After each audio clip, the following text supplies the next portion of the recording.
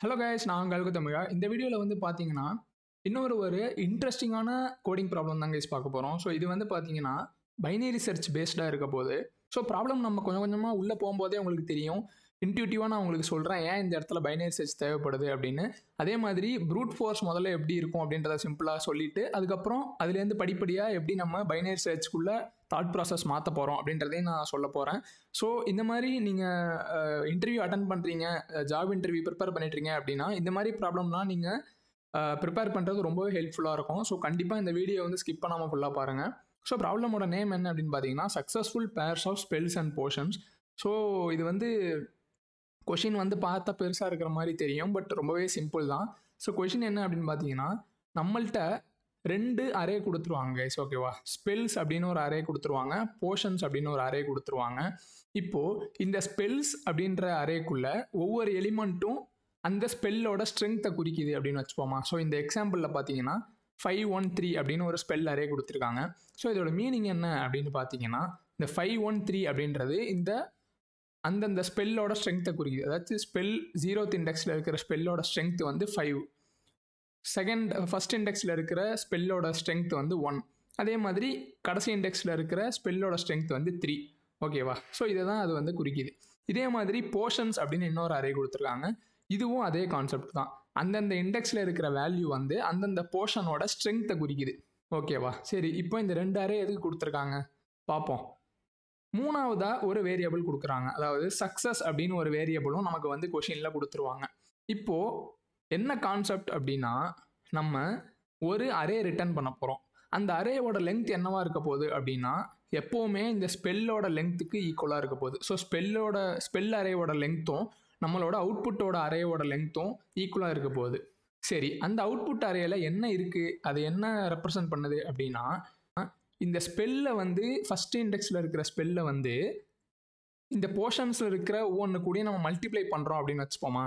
So இந்த அஞ்சை வந்து இந்த போர்ஷன்ஸில் இருக்கிற ஒவ்வொரு ஸ்ட்ரென்த்து கூடயும் மல்டிப்ளை பண்ணும்போது எத்தனை பேர்ஸ் வந்து அந்த டோட்டல் மல்டிப்ளிகேஷன் வேல்யூ சக்ஸஸோட அதிகமாக இருக்குது அட்லீஸ்ட் கிரேட்டர் தேன் செவன் அப்படின்னு கேட்குறாங்க ஸோ அப்படின்னா என்ன அர்த்தம் அப்படின்னா இப்போது இந்த ஃபைவ் இருக்கு இல்லையா? ஸோ ஸ்பெல் ஃபைவ் எடுத்துக்கிட்டு போர்ஷன்ஸில் ஒவ்வொன்றா மல்டிப்ளை பண்ணி பார்ப்போமோ? ஸோ ஃபைவ் இன்ட்டு ஒன் பண்ணால் என்ன வரும்? ஃபைவ் தான் வரும். ஃபைவ் இன்ட்டு டூ பண்ணால் என்ன வரும்? டென் வரும். ஸோ ஃபைவ் இன்ட்டு த்ரீ பண்ணால் என்ன வரும்? ஃபிஃப்டீன் வரப்போகுது. அதே மாதிரி ஃபைவ் இன்ட்டு ஃபோர் பண்ணும்போது என்ன வரும்? டுவெண்ட்டி வரப்போகுது. ஃபைவ் இன்ட்டு ஃபைவ் பண்ணும்போது டுவெண்ட்டி ஃபைவ் வரப்போகுது ஓகேவா இப்போது இதில் எத்தனை வேல்யூ வந்து அவங்க கொடுத்துருக்கிற சக்ஸஸோட கிரேட்டர் தானே ஈக்குவல் டுவாக இருக்குது ஃபைவ் வந்து கிடையாது. ஓகேவா ஏன்னா ஃபைவ் வந்து செவனோட சின்னது. ஆனால் ten twenty fifteen twenty five இந்த நாலுமே வந்து செவனோட கிரேட்டர் தானே ஈக்குவல் டுவாக இருக்கு இல்லையா? ஸோ அதனால தான் அந்த இண்டெக்ஸில் ஃபைவ் இருக்கிற இண்டெக்ஸில் ஆன்சர் வந்து ஃபோர்னு கொடுத்துருக்காங்க. ஸோ இது வந்து உங்களுக்கு புரிஞ்சிருக்கும்னு நினைக்கிறேன். ப்ரூட் ஃபோர்ஸாக யோசிச்சா ஒரு இன்டர்வியூவில் கேட்குறாங்கன்னா நீங்கள் எப்படி சால்வ் பண்ணுவீங்க? பார்க்கவே ரொம்ப சிம்பிளாக தான் இருக்கு இல்லையா? ரெண்டே ரெண்டு அரே கொடுத்துருக்காங்க. என்ன பண்ண போகிறோம் ரிசல்ட் அப்படின்னு ஒரு அரே க்ரியேட் பண்ணிக்க போகிறோம் ரிசல்ட் அரேவை அவுட்புட்டாக வச்சுக்கிட்டு ரெண்டு ஃபார் லூப் போடுவோம் கரெக்டாக ஸோ ஃபஸ்ட்டு ஸ்பெல்ஸ் அரேவை வந்து uh, ஃபார் லூப் போடுவோம். அதே மாதிரி இன்னொரு ஃபார் லூப்பை போட்டு அதுக்குள்ளே வந்து இந்த போர்ஷன்ஸ் இதை வந்து ஃபார் லூப்பில் போடுவோம். ஓகேவா இப்போது இந்த ரெண்டு ஃபார் லூப்புக்குள்ளே நம்ம ஒவ்வொரு காம்பினேஷனுக்கும் ப்ராடக்ட்டை கண்டுபிடிச்சி கண்டுபிடிச்சி டோட்டலாக இப்போ அந்த முடியும் போது ஒவ்வொன்றுக்கும் எவ்வளோ கிரேட்டர் தான் அந்த சக்ஸஸ் இருக்குதுன்னு பார்த்து இந்த ரிசல்ட் அறையில் ஆட் பண்ணிகிட்டே வர போகிறோம் சரி இது வந்து ஒர்க் ஆகும். ஒர்க் ஆகாதுன்னு நான் சொல்லலை. பட் இது வந்து ஏன் ப்ரூட் ஃபோர்ஸ் அப்படின்னா இந்த ப்ரோக்ராமோட கன்ஸ்டன்ஸுக்கு இந்த என் ஸ்கொயர் சொல்யூஷன் ஏன் என் ஸ்கொயர் ரெண்டு ஃபார் லூப் இருக்குது இது வந்து லெங்க் என்னன்னு வச்சுக்கோங்க. இது வந்து லெங்க் எம்னு வச்சுக்கோங்க. எம்என் சொல்யூஷன் வந்து டைம் அவுட் ஆகிடும் ஏன்னா இந்த லெங்க் ஆஃப் எண்ணும் லெங்க் ஆஃப் எம்மும் வந்து ரொம்ப பெருசாக இருக்குது சரி. இப்போ இதுதான் ப்ரூட் ஃபோர்ஸ் ப்ரூட் ஃபோர்ஸ் இங்கே வேலை செய்யாதுன்னு நமக்கு நல்லா தெரிஞ்சு போச்சு கேஸ் சரி நம்ம வந்து நான் சொன்னேன் இல்லையா பைனரி சர்ச் தான் இந்த இடத்துல யூஸ் ஆக போகுது அப்படின்னு. பைனரி சர்ச்ன்றது ஒன்றும் கஷ்டமான மேட்டரே கிடையாது. பற்றி தெரியல அப்படின்னா கவலைப்படாதீங்க. நம்ம சேனலில் பைனரி சர்ச் யூஸ் பண்ணி நிறைய வீடியோஸ் ஆல்ரெடி போட்டிருக்கேன். அதே மாதிரி பைனரி சர்ச் கான்செப்ட் எக்ஸ்பிளைன் பண்ணி தனி அல்கர்தம் வீடியோஸும் போட்டிருக்கோம். ஸோ கண்டிப்பாக டைம் இருந்தால் செக் பண்ணி பாருங்கள் ரொம்பவே யூஸ்ஃபுல்லாக இருக்கும். எக்கச்சக்கமான ப்ராப்ளம்ஸ்க்கு ஓகே இப்போது இங்கே வந்து ஏன் பைனரி சர்ச் பண்ண போகிறோம் அப்படின்னா பைனரி சர்ச் உங்களுக்கே தெரியும். பைனரி சர்ச்சோட டைம் காம்ப்ளெக்சிட்டி வந்து லாக் என் ஓகேவா ஓகே இப்போது இந்த போர்ஷன்ஸ் அரேவை எடுத்துக்கலாமா? இந்த போர்ஷன்ஸ் அரேவை வந்து இவங்க வந்து இந்த எக்ஸாம்பிளில் ஆல்ரெடி சார்ட்டட் ஆர்டரில் கொடுத்துட்டாங்க. ஸோ நமக்கு வந்து கவலையே இல்லை. இன்கேஸ் இது வந்து ஆர்டர் மாதிரி இருந்துச்சு அப்படின்னா சார்ட் பண்ணிக்கணும். ஏன்னா உங்களுக்கே தெரியும் பைனரி சர்ச் வந்து என்ன கான்செப்ட்னா அரேவை வந்து சார்ட்டடாக இருக்கும்போது அந்த அரேயில் ஒரு எலிமெண்ட்டை வந்து இருக்கா இல்லையான்னு கண்டுபிடிக்கிறதுக்கு லாக் அண்ட் டைமில் நமக்கு ஆன்சர் கிடைக்க போகுது. லீனியராக பண்ணால் ஓ ஆஃப் எனில் வருது. பைனரி சர்ச் வச்சு பண்ணும்போது அதாவது சார்ட்டடாக இருக்கும்போது லாக் அண்ட் டைமில் நமக்கு ஆன்சர் வரும். கரெக்டாக சரி ஃபஸ்ட் நம்ம என்ன பண்ண போகிறோம் இந்த போர்ஷன்ஸ் அரேவை வந்து சார்ட் பண்ணிக்க போகிறோம் ஸோ ஆல்ரெடி இங்கே வந்து சார்ட்டட் ஆர்டரில் தான் இருக்குது இப்போது இந்த ஃபைவ் ஸ்பெல்லு வச்சுக்க போகிறோம் இந்த ஃபைவ் ஸ்பெல்லுக்கு இந்த போர்ஷன்ஸ் அரேயில் பைனரி சர்ச் ரன் பண்ண போகிறோம் என்ன பண்ண போகிறோம் யூஸ்வலாக பைனரி சர்ச்னா என்ன கைஸ் நீங்களே யோசிச்சு பாருங்கள் ஒரு லெஃப்ட்னு ஒரு வேல்யூ இருக்கும் ரைட்டுன்னு ஒரு வேல்யூ இருக்கும். கரெக்டாக ஸோ இந்த லெஃப்ட்டும் ரைட்டும் இருக்கும்போது நடுவில் வந்து மிடில் அப்படின்னு ஒரு வேல்யூ கண்டுபிடிப்போம். அதுதான் பேசிக் கான்செப்ட் இல்லையா பைனரி சர்ச்சுக்கு அகைன் இதெல்லாம் வந்து உங்களுக்கு புதுசாக இருந்துச்சுன்னா நான் பைனரி சர்ச் வீடியோஸ்லாம் வந்து சேனலில் இருக்கும். கண்டிப்பாக பாருங்கள் நான் முடிஞ்சால் டிஸ்கிரிப்ஷன்லேயும் லிங்க் கொடுக்குறேன். ஸோ கண்டிப்பாக மிஸ் பண்ணாமல் பாருங்கள் இப்போ இந்த மிடில் இருக்கிற வேல்யூ எடுத்துப்போம். ஸோ ஃபார் எக்ஸாம்பிள் நமக்கு மிடில் வந்து இப்போதைக்கு மூணு அப்படின்னு வருதுன்னு வச்சுப்போமா? இப்போது இந்த ஸ்பெல் கூட மூணை மல்டிப்ளை பண்ணி பார்க்கலாம். ஓகேவா கேஸ் ஃபாலோ பண்ணிட்டு தான் இருக்கீங்கன்னு நினைக்கிறேன். ஸோ இப்போ இந்த ஃபைவ் கூட இந்த மிடில் வந்து நம்ம ப்ராடக்ட் எடுத்து பார்க்கலாம். ஸோ ஃபைவ் இன்ட்டு த்ரீ ஓகேவா அஞ்சாம் கிளாஸ் மேக்ஸ் தான் இது. ஸோ ஃபைவ் இன்ட்டு த்ரீ வந்து என்னது? ஃபிஃப்டீன் ஓகேவா அஞ்சாம் கிளாஸ் மேக்ஸ் கூட இல்லை. நம்ம வந்து ஃபஸ்ட் ஸ்டாண்டர்ட்லேயே இதெல்லாம் போட்டிருப்போம் சரி ஃபைவ் இன்ட்டு த்ரீ வந்து ஃபிஃப்டீன் இப்போது இந்த ஃபிஃப்டீன் வந்து செவனோட கிரேட்டர் தானே ஈக்குவல் டுவாக இருக்கா? செக் பண்ணி பார்ப்போமா? ஆமாம் இருக்குது அப்போன்னா என்ன அர்த்தம்? நீங்களே யோசிச்சு பாருங்கள் இது வந்து சார்ட்டட் ஆர்டரில் இருக்குது மிடில் இருக்கிற வேல்யூ கூட மல்டிப்ளை பண்ணும்போதே greater than or equal to seven வருது. அப்படின்னா இதுக்கு அடுத்து உள்ள எந்த வேல்யூவை எடுத்து நீங்கள் மல்டிப்ளை பண்ணாலும் greater than or equal to seven தானே வரப்போகுது. நல்லா யோசிச்சு பாருங்க. ஏன் அப்படி? ஏன்னா ஃபைவ் இன்ட்டு த்ரீ வந்து ஃபிஃப்டீன் அது வந்து செவனோட பெருசாக இருக்குன்னு நம்ம கண்டுபிடிச்சிட்டோம். அப்போனா த்ரீக்கு அப்புறம் உள்ள எல்லாமே த்ரீயோட பெருசாக தான் இருக்க போகுது இல்லையா? ஸோ ஃபைவ் இன்ட்டு த்ரீயே ஃபிஃப்டீன் வருதுன்னா five into four five into ஃபைவ்லாம் கண்டிப்பாக அதை விட அதிகமாக தான் இருக்க போகுது. ஸோ இந்த மாதிரி நம்ம பைனரி சர்ச் இந்த இடத்துல எப்படி ஹெல்ப் பண்ண போகுது அப்படின்னா இங்கே வந்து நம்ம ஒரு எலிமெண்ட் இருக்கா இல்லையான்னு கண்டுபிடிக்கல பைனர் சர்ச்சை வச்சு பைனரி சர்ச்சை வித்தியாசமாக யூஸ் பண்ணிக்கிட்டு இருக்கோம். ஓகேவா ஸோ இந்த இடத்துல பார்த்தீங்கன்னா இப்போது நமக்கு என்ன தெரியுது? ஓகே ஓகேப்பா நம்ம லெஃப்ட் ரைட் எடுத்தோம். மிடில் வந்து ஒரு வேல்யூ வந்துச்சு. அதுவே நமக்கு நம்ம கொடுத்த இந்த சக்ஸஸோட பெருசாக இருக்குது அப்போனா என்ன அர்த்தம்? கண்டிப்பாக இந்த அதுக்கப்புறம் உள்ள எல்லாமே நமக்கு வந்து ஆன்சரில் இருக்க போகுது. ஸோ அதை போய் நீங்கள் சும்மா செக் பண்ணி பார்த்துட்டு இருக்க வேணாம். ஃபைவ் இன்ட்டு ஃபோர் வந்து எவ்வளோ ஃபைவ் இன்ட்டு ஃபைவ் எவ்வளோலாம் நீங்கள் போட்டு பார்த்துட்டு இருக்கவே வேணாம். ஓகே இப்போ இந்த சமயத்தில் நமக்கு என்ன தெரிய வருது? ஸோ கண்டிப்பாக இந்த மூணு எலிமெண்ட் ஸோ இந்த மூணு எலிமெண்ட்டுன்றதை நான் எப்படி சொல்கிறேன் போர்ஷன்ஸ் டாட் லெங்க் அதாச்சும் total length minus middle so இந்த portions dot length minus middle பண்ணிங்கன்னா இந்த மூணு அப்படி த்ரீன்ற ஆன்சர் வரப்போகுது.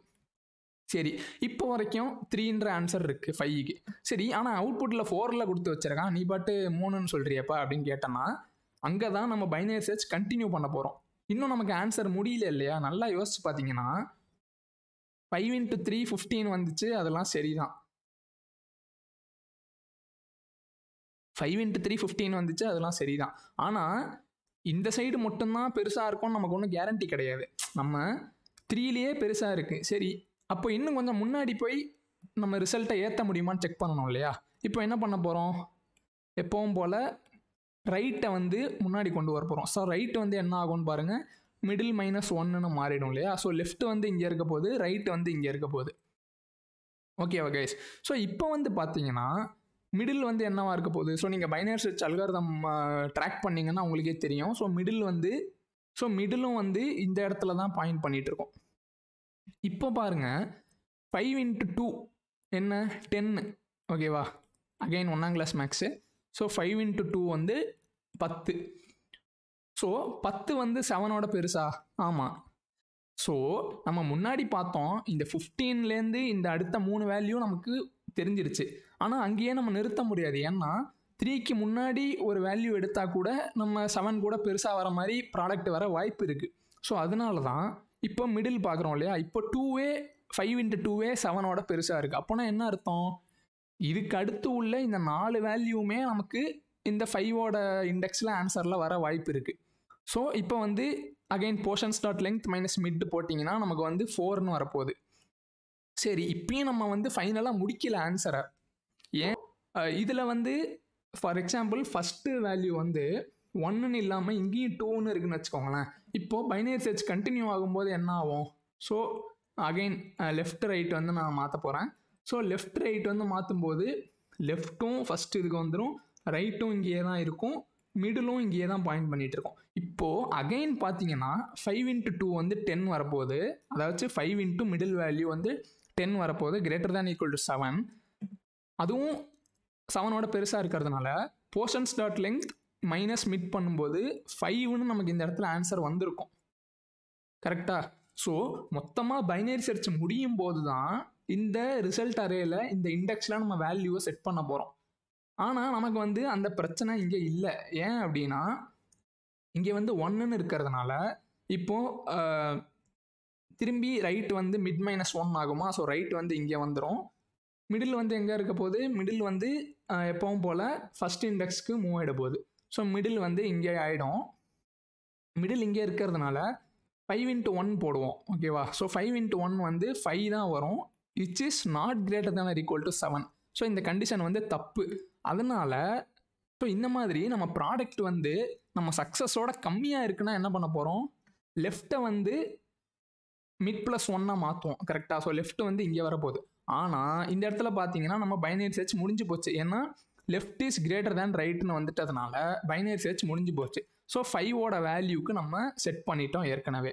ஸோ இப்போ வந்து பார்த்தீங்கன்னா ஃபைவுக்கு வேல்யூ வந்து செட் ஆகிடுச்சு உங்களுக்கு புரிஞ்சிருக்கும்னு நினைக்கிறேன் கிரைஸ் ஸோ இப்போ வந்து நம்ம வந்து இந்த ஒன் எடுத்து பார்க்கலாம். ஓகேவா ஸோ இந்த ஒன் மட்டும் எப்படி ஆன்சர் வருதுன்னு பார்த்துட்டு நம்ம கோடிங்க்கு போயிடலாம். ரொம்பவே சிம்பிள் தான். ஓகேவா இப்போ இந்த ஒன்க்கு வந்து அகைன் நம்ம இதில் வந்து பைனரி சர்ச் போட போகிறோம் ஸோ லெஃப்ட்டு ரைட்டு ஓகேவா மிடில் வந்து வழக்கம் போல் நடுவில் வருதுன்னு வச்சுப்போம். இப்போது ஒன் இன்ட்டு மிடில் ஒன் வந்து இருக்குது மிடில் வந்து வேல்யூ என்ன? Three so one into three வந்து த்ரீ இப்போது த்ரீ வந்து கிரேட்டர் தேன் ஈக்குவல் டு செவனா இல்லை இல்லை ஆப்வியஸாக அப்போனா என்ன பண்ண போகிறோம் லெஃப்ட்டை வந்து மிடில் ப்ளஸ் ஒன் போட போகிறோம் ஏன் நல்லா யோசிச்சு பாருங்கள் கைஸ் ஏன்னா இப்போது இந்த த்ரீயோட மல்டிப்ளை பண்ணும்போது நமக்கு சக்ஸஸோட கம்மியாக ஒரு வேல்யூ வருது. அப்போனா என்ன அர்த்தம்? இதுக்கு முன்னாடி உள்ள எல்லா வேல்யூவும் வேஸ்ட்டுன்னு அர்த்தம்.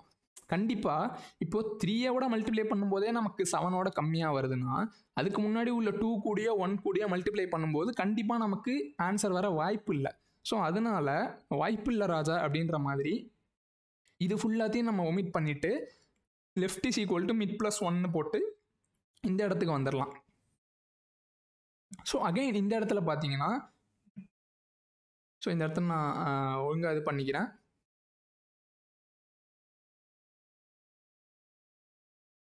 ஸோ லெஃப்ட் இங்கே இருக்குது ரைட் இங்கே இருக்குது ஓகேவா ஸோ மிடில் வந்து எங்கே வரப்போகுது? ஸோ மிடில் வந்து எங்கே வரப்போகுது? இந்த இடத்துல வரப்போகுது மிடில் சரி. இப்போது நீங்களே பாருங்கள் லெஃப்ட்டு ரைட்டு மிடில் இப்போது ஒன் கூட ஃபோரை மல்டிப்ளை பண்ணி பார்க்கலாம். ஸோ ஒன் இன்ட்டு ஃபோர் பண்ணுறேன் அகைன் எனக்கு வந்து ஆன்சர் வரல. ஏன்னா ஃபோர் வந்து செவனோட சின்னதாக இருக்குது சரி இதுவும் போச்சா? அப்படின்னு சொல்லிட்டு லெஃப்ட்டை வந்து மறுபடி ஒன் மிட் ப்ளஸ் ஒன் பண்ண போகிறேன் சரி இப்போது மிட் ப்ளஸ் ஒன் பண்ணிட்டேன் இல்லையா? இந்த மாதிரி பண்ணும்போது மிடில் வந்து என்னவாக இருக்க போகுது? மிடில் வந்து இந்த இடத்துல இருக்க போகுது. அகைன் ஒன் இன்ட்டு ஃபைவ் பண்ணுறேன் ஒன் இன்ட்டு ஃபைவ் பண்ணாலும் நீங்களே பார்க்கலாம். ஃபைவ் தான் வரும். செவனோட கம்மி. அதனால என்ன அர்த்தம்? திரும்பி லெஃப்ட்டை வந்து மிட் ப்ளஸ் ஒன் வெளியில் எடுத்துகிட்டு போயிடும் ஸோ என்ன ஆகுது பாருங்கள் இந்த ஒன்னுக்கு வந்து பைனரி சர்ச் முடிகிற வரைக்கும் நமக்கு வேல்யூவே எதுவும் கிடைக்கல. ஸோ அதனால தான் ஒன்னோட கரஸ்பாண்டிங் பொசிஷனில் வந்து ஜீரோன்னு இருக்குது ஸோ இதே மாதிரி த்ரீக்கும் நீங்கள் பைனரி சர்ச் பண்ணி பார்த்தீங்கன்னா உங்களுக்கு வந்து இங்கே த்ரீ வரும் கைஸ் ஸோ அதை வந்து நீங்கள் ஒரு எக்ஸசைஸாக எடுத்துக்கோங்க. கண்டிப்பாக பண்ணி பாருங்கள் ஸோ இந்த மாதிரி நீங்கள் மேனுவலாக பண்ணி பார்க்கும்போது உங்களுக்கு அந்த அல்காரதம் வந்து அப்படியே மனசில் வந்து பதிஞ்சிடும் சரி. இப்போது இதிலோட டைம் காம்ப்ளெக்சிட்டியும் ஸ்பேஸ் காம்ப்ளெக்சிட்டியும் பார்த்துடலாமா ஸோ டைம் காம்ப்ளெக்சிட்டி வந்து பார்த்தீங்கன்னா இப்போ நான் சொன்னேன் இல்லையா இது வந்து நீங்கள் என் லென்த் என்னன்னு வச்சுக்கோங்க. ஸோ அதுக்கு முன்னாடி இதெல்லாம் எரேஸ் பண்ணிடுறேன்.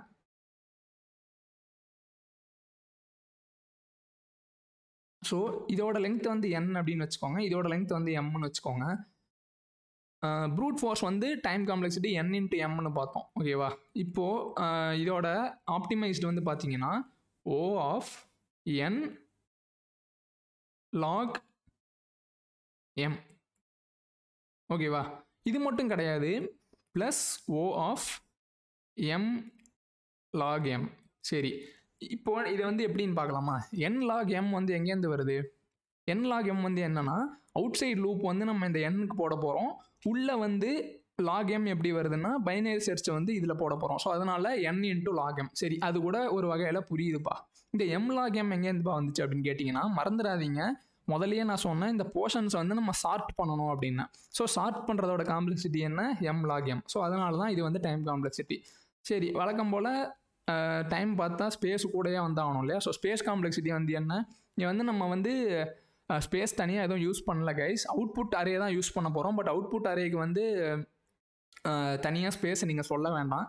ஸோ அது வந்து எக்ஸ்பெக்டட் தான். ஸோ ஸ்பேஸ் வந்து constant space complexity guys so first of all நான் சொன்ன மாதிரி அரேஸ் டாட் சார்ட் போர்ஷன்ஸ் ஓகேவா அந்த போர்ஷன்ஸ் அரே வந்து சார்ட் பண்ணிக்கிறோம். அண்ட் ஃபைனலாக ரிட்டர்ன் பண்ணுறதுக்கு ரிசல்ட் வந்து போட்டுக்கிறோம். அந்த ரிசல்ட்டோட லென்த் வந்து ஸ்பெல்ஸோட லென்த்துக்கு ஈக்குவலாக இருக்க போகுது ஓகேவா சரி. இப்போது அவுட் சைட் லூப் வந்து ஸ்பெல்ஸில் ஸ்டார்ட் பண்ண போகிறோம் so I I equal to zero I less than spell start length I plus plus ரொம்பவே சிம்பிள் தான். இப்போ left equal to zero right equal to portions dot length minus one so binary சர்ச்ன்றதுனால left right பவுண்டரியை set பண்ணிக்கிறோம். Portions அரேல பண்ணுறதுனால left ஜீரோவாக இருக்குது right வந்து portions dot length minus one ஓகேவா இப்போது இந்த கரண்ட் ஸ்பெல்லுக்கு என்ன ஆன்சர் அப்படின்றத ட்ராக் பண்ணுறதுக்கு ஒரு வேரியபிள் ஓகேவா ஸோ அது வந்து இனிஷியலாக ஜீரோன்னு இருக்குது இப்போ நம்ம பைனரி சர்ச் வந்து ஆரம்பிக்கிறோம் guys so left is less than or equal right தான். மிடில் கண்டுபிடிக்கிறோம் மிடிலோட ஃபார்முலாலாம் உங்களுக்கு வந்து அந்த பைனரி சர்ச் ஃபார்முலா வீடியோ பார்த்தீங்கன்னா உங்களுக்கு கண்டிப்பாக புரியும். ஸோ மிட் கண்டுபிடிக்கிறோம். மிட் கண்டுபிடிச்சிட்டு கரண்ட் ப்ராடக்ட் வந்து என்னன்னு பார்க்குறோம். ஸோ கரண்ட் ப்ராடக்ட் வந்து என்ன? Spells of I into portions of அந்த மிடில் இருக்கிற இண்டெக்ஸ் ஓகேவா சரி இங்கே எதுக்குப்பா லாங்லாம் போட்டிருக்கேன் இன்டீஜர் போதாதா அப்படின்னு கேட்டிங்கன்னா இந்த spells of I portions of value இருக்கிறது வந்து ஆல்ரெடி பெரிய வேல்யூவாக இருக்கும். ஸோ நீங்கள் மல்டிப்ளை பண்ணும்போது இன்டீஜர் ரேஞ்சை தாண்டி போயிடும் ஸோ அதனால தான் லாங் வந்து இங்கே போட்டுக்கிறேன். ஓகேவா அதே மாதிரி இப்போது கண்டிஷன் செக் பண்ணுறோம் இப்போது இந்த கரண்ட் ப்ராடக்ட் ஆஃப் ஸ்ட்ரென்த் வந்து நம்ம சக்ஸஸ் கொடுத்துருக்கிறதோட கம்மியாக இருந்துச்சுன்னா லெஃப்ட்டை வந்து மிட் ப்ளஸ் ஒன் பண்ண போகிறோம் ப்ராடக்ட் ஆஃப் ஸ்ட்ரென்த் வந்து சக்ஸஸோட கிரேட்டர் தன் ஆர் ஈக்குவல் டுவாக இருக்குன்னா ஆன்சர் ஃபார் கரண்ட் ஸ்பெல்ல அப்டேட் பண்ண போகிறோம் ஸோ பார்த்தோம் இல்லையா? Portions dot length minus mid அப்படின்னு அப்டேட் பண்ணிவிட்டு right equal to mid minus one so இந்த மாதிரி ஒவ்வொரு தரையும் இந்த கண்டிஷன் நடக்கும்போது நம்ம answer for current spell update ஆகிட்டே இருக்கும். ஸோ ஃபுல்லாக பைனரி சர்ச் முடியும் போது அந்த ரிசல்ட்டில் அந்த இண்டெக்ஸில் அந்த ஆன்சர் ஃபார் கரண்ட் ஸ்பெல்லில் அப்டேட் பண்ண போகிறோம் ஸோ கடைசியாக மொத்தமாக முடிஞ்சதுக்கப்புறம் ரிசல்ட் அரே ரெடியாக இருக்கும். ஸோ அதை வந்து ரிட்டர்ன் பண்ணுறோம் ஸோ கேஸ் இங்கே வந்து பார்த்தீங்கன்னா இது வந்து சப்மிட் ஆகுது. ஸோ கண்டிப்பாக நான் சொன்ன மாதிரி இந்த மாதிரி ப்ராப்ளம்ஸ்லாம் வந்து கண்டிப்பாக ட்ரை பண்ணி பாருங்கள் மேனுவலாக நோட் புக்கில் எழுதி கூட பாருங்கள் ஏன்னா அவ்வளோ இம்பார்ட்டண்ட்டான டாபிக் இந்த பைனரி சர்ச் அதெல்லாம். ஓகே கேஸ் இந்த வீடியோ பிடிச்சிருந்துச்சுன்னா கண்டிப்பாக ஒரு லைக் பண்ண மறந்துடாதீங்க. ஏன்னா அதுதான் வந்து எனக்கு ஒரு மோட்டிவேஷனாக இருக்க போகுது. அண்ட் கண்டிப்பாக உங்களோட ஃப்ரெண்ட்ஸுக்கும் காலேஜில் படிக்கிற யாராக இருந்தாலும் சரி கண்டிப்பாக ஷேர் பண்ணி சப்ஸ்கிரைப் பண்ண சொல்லுங்கள் ஓகே கே ஸோ இதே மாதிரி இன்னொரு சூப்பரான வீடியோவில் பார்க்குற வரைக்கும் ஒட்டா நண்பா.